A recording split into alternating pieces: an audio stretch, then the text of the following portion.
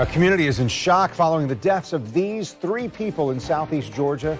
The suspect in two of the murders is this former police lieutenant who is also dead. The McIntosh County Sheriff says former Glynn County Police Lieutenant Corey Sasser is the suspect in the murders of his ex-wife, Katie Kettle Sasser, and her friend Johnny Hall. Investigators say after their shootings, Sasser led police on a low-speed chase to a SWAT standoff in front of his Brunswick home. Deputies eventually found Sasser dead from a gunshot wound to the chest. News 4 Jax reporter Corley Peel is live to show us more about what led up to the murders. Corley. Loved ones say that Katie Kettle Sasser and Johnny Hall's deaths could have been prevented and that Corey Sasser has threatened both of them in the past.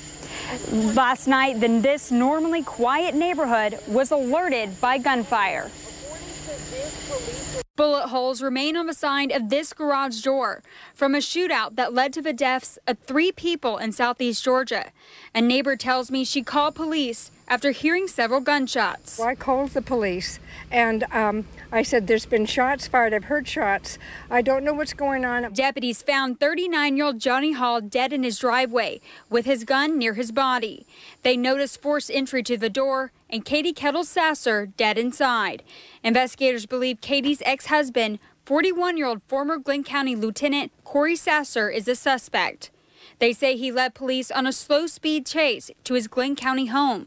Sasser was found dead inside his truck with a gunshot wound to his chest hours after a SWAT standoff. The history with Corey Sasser has been so devastating in this community for so long. Loved ones say the tragic deaths could have been prevented.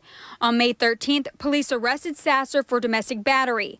On May 17th, officers arrested him a second time after a standoff with police.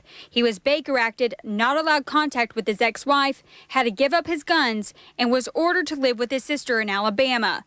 He was also required to seek treatment for PTSD. Sasser could travel to Glynn County, but could only stay for two hours for court appearances the court system could have done a lot better of a job.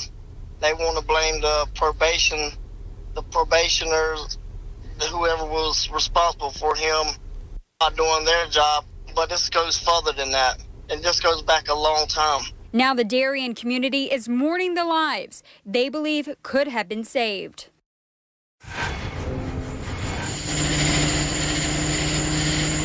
Loved ones say that Katie Kettle Sasser and Corey Sasser had a young son together. They also say that Johnny Hall was a father as well. Report, reporting live from McIntosh County, Corley Peel, Channel 4, the local station.